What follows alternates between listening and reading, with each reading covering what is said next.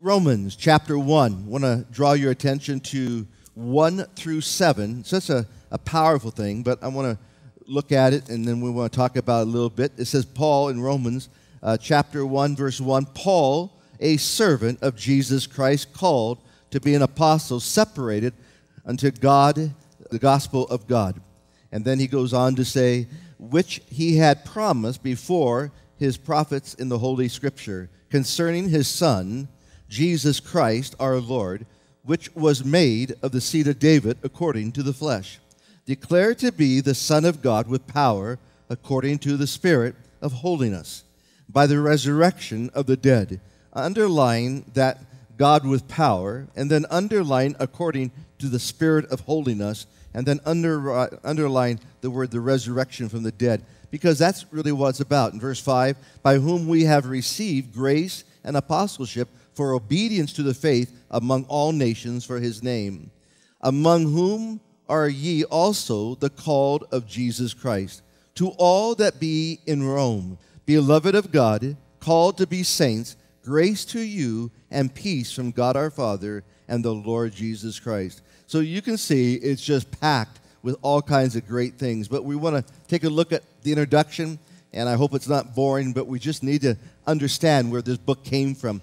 Nowhere really in Scripture does it say life is going to be easy. I don't know how we ever came with that thought. You know, people say, just come to Christ, it's going to get easy. No, it's going to get worse. Or just come to Jesus and everything's going to be taken care of. No, a lot of times you're going to be dealt with, and God, the Holy Spirit, is going to place His finger and show you everything about your life. And you're going to feel like I've been ripped off in the flesh. Now I'm being dealt with by the Spirit. And now I have to put up with people, and I come to church, and these Christians, they lie. You know, what's up with this? And so Satan comes after you, and the Spirit's coming after you. And you have turned your back on Satan, and he has lost you to the power of Jesus Christ, but you don't feel it. And then you begin to look at Christianity, and it's horrible because we say one thing, we begin to do other things. We go out with a pastor, he takes a boat, goes out drinking, smoking, and all of a sudden he has no problem with that whatsoever. Well, you do. And now you're trying to figure out this God and holiness. And if he can do it, I can do it. And so you begin to realize, or if you have a pastor that doesn't want to do that, then sometimes he goes too far and he lives under the law. And so now you're not living by the grace of God. It really takes a supernatural work to absolutely change your life for the glory of God. And it takes God's power to have yourself die every day to the sins of your life, to walk in love. It takes everything in your ability to love somebody or love a wife or a husband when you're really mad at them. And it takes everything in your heart to come back to church when you've been hurt because you want someone to pay. Life is tough. No, no, no matter how you look at it, someone's going to die, a baby's going to die, someone's going to get crippled tonight, someone's going to lose everything, someone's going to get hit by accident, it's going to kill them, something's going to happen. It just happens because good and bad things happen to us. And so I'm not insulated or isolated from trials. In fact, there's a big target on my back. In other words, Satan is going to come after me. And the Bible so clearly states that, again, that we are tempted just like you are. So everything you go through, I go through. Sometimes even worse because of where I'm at. And so the position brings the enemy. And so you have problems on the outside, and then you have problems on the inside. You don't do something right, the staff gets mad at you, or the board gets mad at you, or the congregation gets mad at you, and then the world loves you. you can see you're set up 24 7. So, somewhere in our minds, we have come to believe that if I ask Christ into my heart, I should have a great life. That's not true. If you want a great life, you're going to have to work for it. Not in the sense of salvation, but you're going to have to apply the Word of God to your heart and believe it. And you're going to have to take God at His fate value that He says, I'll do it, I'll do it. And you're going to have to believe everything in your heart that God is who He is. So if your knowledge of God is little, you're in a big, you're just in big trouble because Satan knows God and knows the Scripture, and you've just left Him, and here God is not telling you everything, and Satan's telling you everything who are you going to go back to? It's so easy to backslide. And then you do real well, and you and a gal slip. Well, you didn't slip, you went after her. You know that. So we're not even honest with ourselves. Another, what were you doing at that bar? Well, I just got to go maybe ask for a job. No, you didn't. You went there for one reason because you're lonely, insecure, and you want someone to hold you and be a mother. And you found this gal because she's looking for some daddy. And next thing you wake up in bed and you find out that she had AIDS. So now you're going to die, so now you're going to blame God for killing you. Why is that? Is that we refuse to take any responsibility. We always want the other person to do it. So the book of Romans comes and says, no, wait a second. This whole book is about getting us saved and showing the miraculous gift of God, how he has justified us, redeemed us. And so man is already lawless. He's already wiped out. The world around you is completely messed up, and life just is not fair. And this is what we think. I don't know how we got there. But this book is going to teach you the grace of God. And this book is going to teach you how to learn to deal with issues in your life. And Paul is going to go through this book and teach it in a very powerful way as a lawyer. He's going to lay it out in a very powerful thing. And listen to Isaiah 45, verse 22. Look unto me and be saved. That is so powerful. Look. He didn't tell you to run, he didn't tell you to beg. He said, just look to me and you will be saved all the ends of the earth. For I am God and there is none else. You hear what he's saying? There's not another God, so you don't have to look anywhere else. What's our problem? We want our God, but we want to find other gods too. So we want the God of material, we want the God of blessings, we want the God of money, we want the God of, you know, looking good, and those are just other gods. We want one God, and that's the Lord Jesus Christ. Verse 23 I have sworn by myself the word is gone out of my mouth in righteousness, and shall not return, that unto me every knee shall bow, every tongue shall swear. Surely shall one say, In the Lord have I righteousness. There it is. How can I be righteous? In Christ, you're going to be righteous. The more of God, the more righteous you're going to be. The more the priests are in harmony with God, the more the nation's going to be blessed. And the same thing here. The more the pastors are on fire, you are going to be on fire because we're going to teach you right. Shall not return unto me, every knee shall bow, every tongue shall confess. Surely shall one say, In the Lord have I righteousness and strength. Even to him shall men come, and all that are incensed against him shall be ashamed and then verse 25 In the Lord shall all the seed of Israel be justified and shall glory. So, what he's saying is that this is what God wants to do. He wants to take someone who is not worth it and not worthy, someone who feels so bad about who they are, and someone who's trying to be a real good Christian and yet take their eyes off of God and tell you it's not you. It's going to be God that picks you up. It's going to be God that puts you back together. It's going to be God taking your mind and heart and making you fall in love with Him. And it's going to be God saying to those enemies, stay away from Him. And it's going to be God who's going to fill you with the power of the Holy Spirit. And it's going to be God that gives you a heart to handle anything. And so it's time to grow up. And I have to grow up under the grace of God. And so the law was a schoolmaster to bring you to Christ. Now that I have Christ, I'm under His grace because now I'm so in love with God that He's never going to leave me nor forsake me. And I start believing this thing with all my heart. And so before we dig into it, let's look at a couple things kind of really, really exciting. And so when you look at an epistle, First, Second Timothy, you know, James, and so on, the epistles written to the different churches, Titus, they are not written in chronological orders. In other words, it's not certain ones come first. So Romans is actually the sixth in chronological order, and Romans is first when it comes to Christian doctrine. So if I want Christian doctrine, don't be afraid of doctrine, it means correct belief. If I really want to understand what God is thinking, how God feels, what goes on in God's mind, if I really want to know the mind of God, it's this book. And so when you hear me teach, I like to teach the mind and heart of God, how God acts, his character, his nature, and yet in the middle, God is good and God is just. So all the epistles have a purpose, and here it is. Here in Romans, it speaks of the righteousness of God. In the book of Corinthian, it speaks of order in the church. Remember, they were out of order. In the book of Galatians, it speaks of our liberty in Christ. We have liberty. Don't bind me. In the book of Ephesians, if you understand that book, it talks about the calling of God, that you have been predestinated. Now walk worthy of the Lord. In the book of Uh, Philippians, it talks about what? The joy of the Lord is our strength. And the book of Colossians, it talks about He's the head, He's Christ, He's everything. The preeminence must go to Him. And then in the book of Thessalonica, it is the coming one. Jesus is coming. He's the one who's going to come and conquer.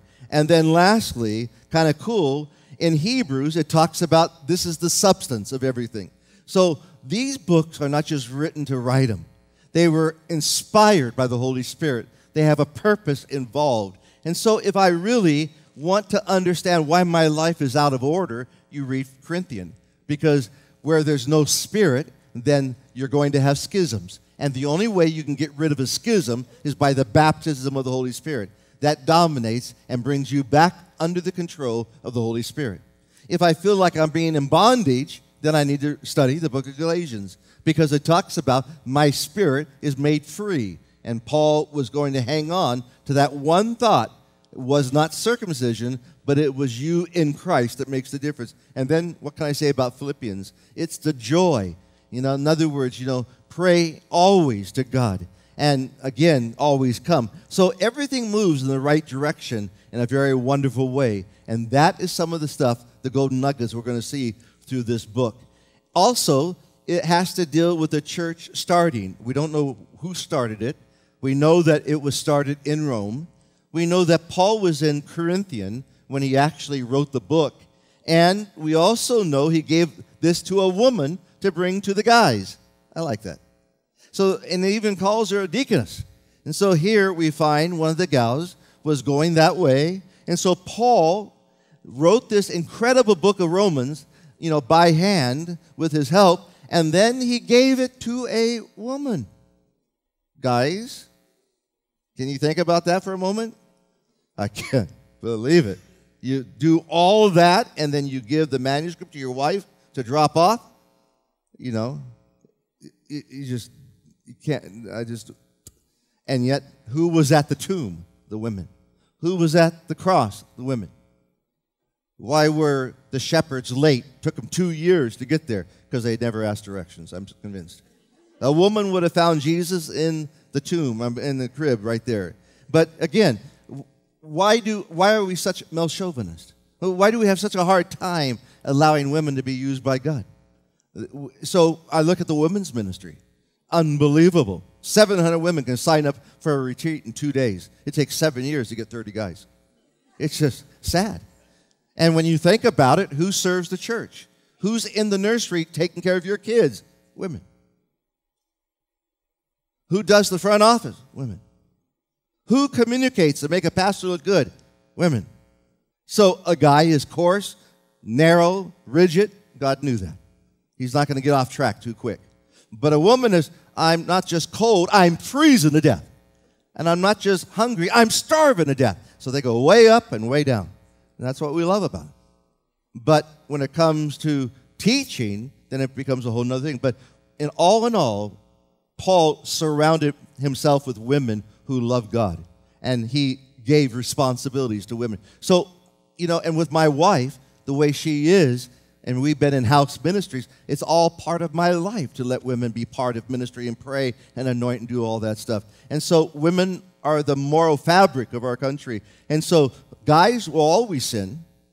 But now, when all of a sudden women start sinning, then the whole moral fabric becomes unwind and we're losing everything. And so, women, you have to be strong. And guys, you have to get stronger. And the Bible says, Holy men, lifted up your hands and women just worshiping the Lord. And so here, once again, she was able to bring it to them. And so Luther said that it is the chief book of the New Testament. Got it said in the uh, it is the chief walk of the Christian walk. And then this guy named Carroll said this, it is the most fundamental, logical, profound, systematic, discussion of the whole plan of salvation in all the literature of the world. It touches all men, it is universal in its application, its roots not only in men's creative and fall, but also in the timeless purpose and decree of God before the world was and fruit is in eternal life and afterwards. In other words, it's everything we need. And so we look at the doctrine. In 2 Peter 1:21, for the prophecy came not in old times by the will of men, but holy men of God spake as they were moved of the Holy Ghost. So I believe the strongest thing we need today in the church is prophetic prophets actually speaking the word of truth. Now, I'm not saying that we're going to be like the prophets of the old days. I'm saying that in our teaching, we have the gift of knowledge or the gift of discernment or the gift of wisdom. We ought to use it and we ought to say it like it is and not be afraid. And I think what the world needs today is a clear vision of God. They need a crystal clear picture of what God is and what God is not, and how powerful God is. And someone has to stand up and say it like it is. You cannot tickle ears, and you cannot try to win people. Your goal in life is to share God and pronounce God and step up for God and say, This is the way it is. And when we can do that, then all of a sudden the church becomes a, a church that has a voice that is going to hear God all the time. If that's not my heart, then I'm in trouble. And a lot of pastors just want to teach a Bible study. We're beyond the Bible study. We need to know what God is saying. We need to live it this day. We need to be under the government of God, and we need to serve God with all of our hearts, with all of our soul. And we have to have a dividing line between us and the world, and we ought to see it. And if we can't see it, someone ought to be saying, This is the way to walk in it. So if you follow God, I'm going to follow you. But I have to see God in your life. And that's who we should be. If it's Pat, if it's me, if it's Kevin, we have to have that much strength in our life. And so here he's saying it is during that third missionary journey, 57 AD, that he wrote, To all men be in Rome, in chapter 1, verse 7, beloved of God. So they are in Rome. And probably what happened is during the Pentecost, when Peter was preaching, 3,000 came to Christ. And so many of those people started churches in their own area. And so they began to work in Rome. And then in Rome 16, verse 1 and 2, it talks about the ladies who were around Paul. And so she was a sister, she was a servant, and she was one who helped administer to people. So she had a great heart towards God. The outline can be very simple. And chapter 1 through 8 is doctrine. And that's important. I'm going to explain that in a second. Chapters 1 through 8 is doctrine. Then in chapter 9 through 11 is dispensation. And then, lastly, in 12 through 16, we're going to take a look at what is practical. Now, let me go back for a moment. When it comes to doctrine, God never does anything till He shows you first what He's done for you. So, when you go to a church and they say, This is what you have to do for God, just turn around and walk out. It should be, This is what God wants to do for you. So, Ephesians chapter 1 through 6 and chapters 1, 2, and 3, it's everything that God has done for you, okay? Predestined you, you're his beloved, he's ordained you, he's baptized you, he sealed you, till you come to chapter 4. Now it says, Walk ye therefore and be worthy of the Lord. So after everything that God has done, after everything that God has poured into your life, now you are to live it practically out in the world. So, first of all, God gives it, then He says, now live it. He'll never ask you to do something that He doesn't empower you. If God is asking you to go and share with your husband, then God will give you the power and the anointing and take the fear away. In other words, God will never do anything in your life until He first empowers you. And it's always that way. Same here in Romans. If you really want to look at it, from chapter 1 to 11 is doctrine, and from chapter 12 to 16 is application.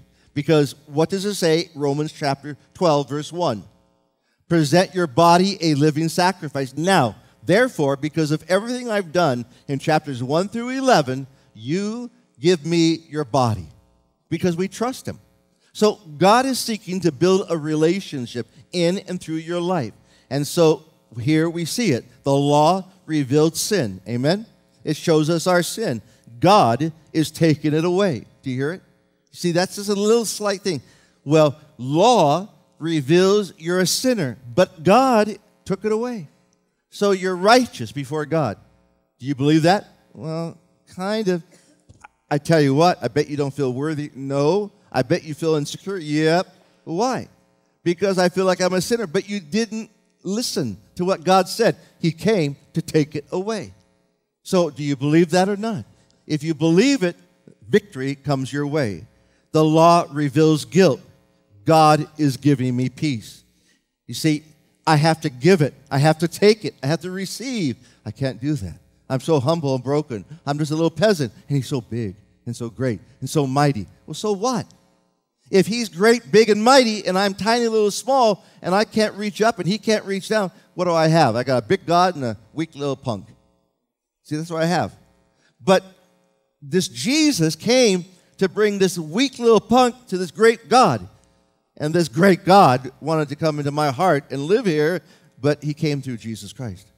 So, what happens? You begin to love Jesus like you've never loved him before. Because of Jesus, you get this great big God in your life, and he takes everything evil out of your life. Well, I can't do it. Good, you can. I can't break this pornography. No, you can. But it is the Holy Spirit that can do it and give you a brand new heart. He can change you like that, and you never have a desire to go back. And then the law strips a man, but God clothes a man. He took, you remember, evil Merodach, and he took uh, Zechariah and he clothed them, made him a king once again. As God is in the business of putting clothes of righteousness on you. So pick up that helmet. He takes the filthy rags away and he does a good work in your heart. He's always clothing you. Satan is always taking. And so here we find lastly, the law promises death, but God gave you eternal life. You can't die. You see, everything I've mentioned is what the law, well, I hate the law. No, the law is good, just, and holy. Well, Steve, I don't understand. You and I are the guilty ones. The law just brought me to realize how ugly I really am. And now, in my ugliness, Jesus comes and makes me absolutely beautiful. So now I can walk down South Bay and not be ashamed, or not hang my head because I'm nobody. I'm something. I'm the child of the King. So the righteousness of God, if you accept it, it brings justification. Well, I just don't know if, if I believe in his righteousness, then you're never going to have justification, just as if I'd never done it. In other words, when God gives you justification, he would never look at you because he knows you would never do it. So weird. The justification of God, if you accept it, brings redemption. In other words, if you accept the work of justification, then redemption comes to you. And guess what? If you have redemption, and you accept that, you have peace in your heart. So there's a contingency about you accepting what God has done. So, yes, God can justify you and sanctify you and glorify you because He made you in the image of God. He made you just like Him, except He gave you a free will that we die over. And so, Romans has been called the gospel of God. Check it out. In Romans 1 1, it says, Paul, a servant of Jesus Christ, called to be an apostle, separated, underlined unto the gospel of God. Isn't that cool verse? So the book of Romans is about the gospel of God. It's in a nutshell. And then notice in Romans 1:16, I love this verse. It's the gospel of God, but it says this, "For I am not ashamed of the gospel of Christ." So secondly, the gospel of Christ. In verse 1, the gospel of God. In verse 16, it's the gospel of Christ. For it is the power of God unto salvation to everyone that believes, to the Jew first, also the Greeks. And then, number three, in Acts chapter 20, verse 24, it is the gospel of grace. It says here, But none of these things moved me, neither counted I my life dear unto myself, so that I might finish the course with joy, the ministry which I have received of the Lord to testify of the gospel of the grace of God. Do you believe that? The gospel of God, the gospel of Christ, now the gospel really of the Holy Spirit in the grace of God. Ephesians 1:13. It's the gospel of your salvation. He says, "In whom ye also trusted, after ye heard the word of truth, that the gospel of your salvation, in whom also after that ye believe, ye were sealed with the Holy Spirit of promise." He baptized you and sealed you. And so you are going steady with Jesus Christ. That word seal is a word that when you went down to buy wood, hunks of wood or logs of wood, you would brand it with your branding iron, just like they would do a cow. You would have to, you'd be taking your things down. You'd have to put it in their fire, and then you would hit your log and you would say SM. That would be Steve Mays. You're just going to brand it, and I'll come back later on and get it. So maybe three months went by, and now you wanted that wood. They would ship it down the rivers to where you had to get it, and it was yours. You already paid. You put a down payment on it. That's the same word the Holy Spirit uses. He gave you a down payment. He sealed you with the Holy Spirit. In other words, it's like God putting a wedding ring on your finger and you are going steady with God. So you can't flirt. And if you really get this picture, and all of a sudden you're going with God and you're in love with God and you're going steady with God and you're lusted at every woman you look at, I don't think that's a very good relationship to you. I mean, if you're married, are you, oh, look at that chick.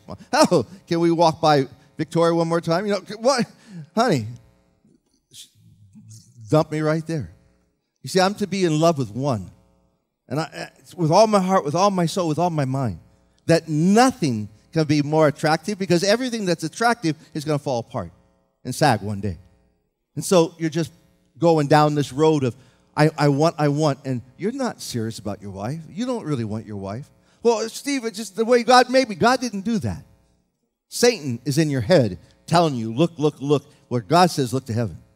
But if I'm in love with my wife, I won't be doing that kind of stuff because I'm in love. And then when all of a sudden you go out on the Lord and you have fornication or you have adultery, you're committing adultery against God and against your wife.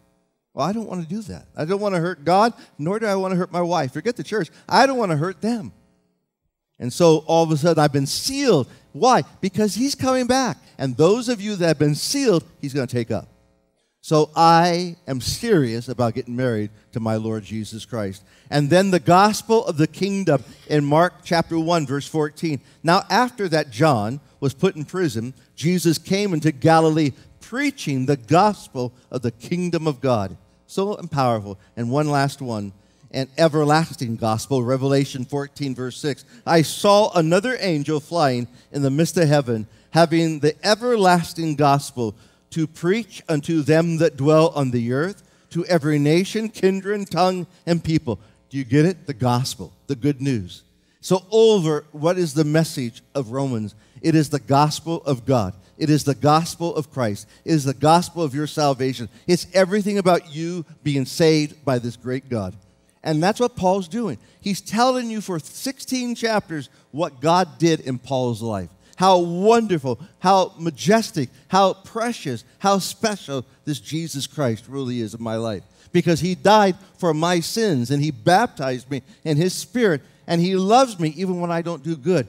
And so, how can I walk around having an attitude with God? I mean, what does God think? I mean, I, I know how he thinks. I think, Stephen, why are you complaining? Why are you griping? Is nothing that I've done in your life worthy of praise? I mean, come on. And of course, I get convicted, but he's right. I'm ashamed. And it's the goodness of God that brings me to repentance. So I find now, God, I'm sorry. Why? Because I feel so bad that you're so good that I haven't even said hi today to you. Steve, are you okay? Yeah. I'm finally getting okay. But that's what we used to call the Jesus people. When all of a sudden, everything we did, we lived, we moved, we had Jesus in our life. And by the way, has Jesus been good to you lately? Do you love him with all your heart? Are you singing? Or did you come today like, I paid good money to hear this concert? I like that preacher's voice. You know, I don't, he hurts me sometimes, but I like him. Okay, you keep coming back. Why? Because there's something in your heart that you want to be fed. That's what's so cool. And then Paul presents his credentials, and we'll end up in the last four things. Number one, verse one, he is a broken man. I want to give you five things to think about with all your heart until we come back next week. Number one, why did God use Paul? He was a broken man. Look at it says Paul. Well, his real name is Saul. But the word Paul means little. I am the least of all the saints. In other words, when God nailed him on the Damascus Road. He was fumbling down, couldn't see, he was blinded. And another one had to pick him up and another one had to come and touch his eyes, Ananias, and it was God that revealed, Paul, why are you kicking against the prick? Why are you hurting my people? When Paul thought he was doing God's will. That's how bad it can get. Because in your heart, you're governed by the law. You're governed about what you think, but you're not listening to what God says. And all of a sudden, God opened his eyes and God took him. He was the most incredible scholar of his day. But why would God do that? Because God didn't have to do much. Once he would turn Paul and turn the light on, then everything he was doing this way, he'd now do this way. So if I would serve the devil this way, I ought to be serving Jesus Christ this way. But I don't understand how you're serving the devil this way, and then you come over here and just kind of walk around and don't get involved, don't make a commitment, and don't make a sacrifice. I don't understand that. Because I think that really, if Jesus Christ took you out of the pit, put your feet upon the rock, took darkness out of your life, and brought you into the marvelous light, you should be doing so much better and so much more power that you are in debt for the rest of your life. And who cares about anybody else? Um, why criticize them when I can't even live it myself? And when I look at the Sermon on the Mount and I say I can climb that, you don't understand. You can't climb that mountain. It's impossible. You can't go under it, you can't go through it. The only way you can go over it is with God taking you over it himself. When Joshua went into the valley or into the stream, it says that they took the stones, another one, put them on their shoulders. I need another one to pick up my body and take it. Otherwise, I'm not going to make it. You see, Paul says, I'm fully persuaded in that which I've committed, that he's able to keep it to the end time. No, I can do it. That's all I hear, ever hear around this place. I can do it. We can do it. No, you can't do it. You can't do nothing except get yourself in a lot of trouble. But those that surrender can do anything. And so we take our eyes off of God, we fall, and then we try to get back right with God without even repenting because we do not want that relationship because we know that when we have a relationship, we're going to have to make a commitment. So we figure this thing out, or Satan has. Hey, you want to play church? Go for it. You want to sit in church? Go for it. You want to listen to teaching? Go for it. Don't you dare make a commitment. You see?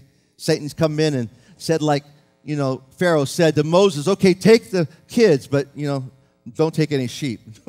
what? We have to make a sacrifice. God will deal with us. Oh, okay, then you go, but don't go too far. What do you mean? We need to get as far as away as we can from you.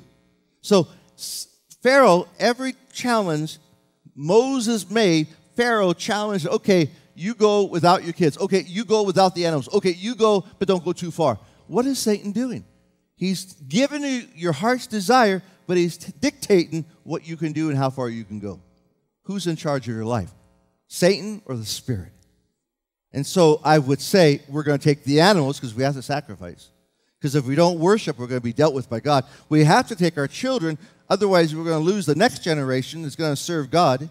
And we have to get away from here, otherwise, people are going to be looking at this Jehovah and this corruption, and they're going to have to make a, a difference. Why? Get away, move on. And so, number one, a broken man for God's kingdom. Paul, he was separate unto God. He, he was just little. He was so broken, devastated. He said, God, what would you have me do? In fact, when he was knocked down, what did he say? He said, Lord, ready? What would you have me to do? That is incredible. That's a conversion. Lord. He acknowledged Jesus as Lord, and then he said, What would you have me to do? He surrendered. Boy, if I could have that, that'd be wonderful. Then, when God said to him, I'm going to show you the great things you're going to have to suffer for my name's sake, he didn't quit. He had an iron will, and that iron went through his body, and you could not get him away. And so he stood against the nation and against all the criticism, and he fought for grace. And because of that, we have it today the grace of God. It's not someone bragging in heaven about how they got there. It's by the grace of God we're saved, not of works, lest any man should boast. Thank God we're going to go to heaven, take off our crowns, and throw them at the feet of Jesus. It's you and you only, God, that's been faithful in my life. Number two, he is a broken man. Second, he is a servant of Jesus Christ. Notice, a servant of Jesus Christ, a, just a bond servant. And what can I say? A bond servant has no authority, no rights. So why are we offended? Because I don't like that. Well, I thought you were a servant. Well, I am. No, you're not. You're acting like a Lord. Well, you know, I have some say. No, you don't. You're a slave. You have given up your right. You now have surrendered to the Lord and to the Spirit, and you now are servants of the Most High God. And you have been in debt, and now you have a debt to pay. But because of the goodness of God, you have surrendered. Now, all of a sudden, you're not going to die to who you are. So, if I'm doing a funeral and you're in that little casket and no one's looking, but I see you have a Rolex watch that isn't tick, tick, tick, but one of those $35,000 ones, you know what I'm talking about? And I take it off your wrist. And the guy jumps up and put that back on me. He ain't dead. That boy is still alive right here.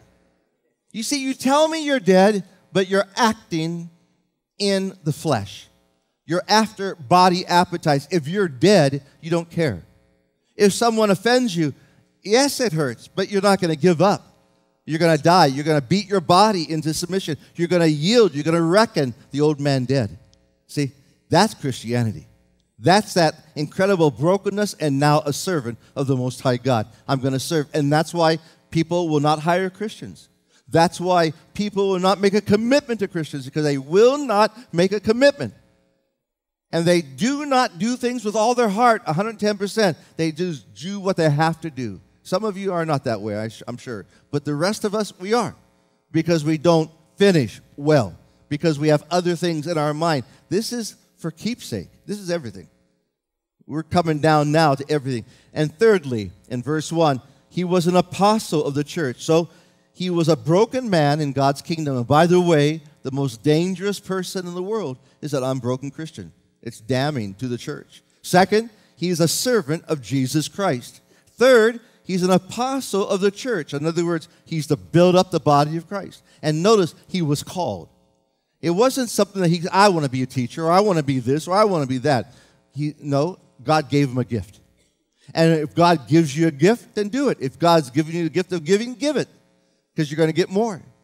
You know, George Mueller, when he died, had 75 cents in his hand, but he prayed in $7 million back in those days. In other words, there's all kinds of stories. If you have the gift of administration, then ministrate in the Spirit. Not just do physical things, but see a person spiritually and build their spiritual life up. I don't know why we don't do that at work. We don't have to talk about Jesus, but we can talk about ethics. You know, my degree's in ethics, so we could do that. But just to get a church clean is one thing, but to get the church clean and mentor people, that's where it's at. So every one of us have to mentor. You mentor your children. You know, you teach them, you work with them, you build them up. And so here, he's an apostle, called to be an apostle, a sent one. And then number four, he is separate unto himself. Look at verse 1 through 4. Paul, a servant of Jesus Christ, to be an apostle, separated unto God which he had promised afore by the prophets in the Holy Scripture concerning his Son Jesus Christ, our Lord, which was made of the seed of David according to the flesh, declared to be the Son of God with power according to the Spirit of holiness. In other words, he was that separate person, he was separated by holiness. So if I'm going to be a sent one, then I have to be like Isaiah.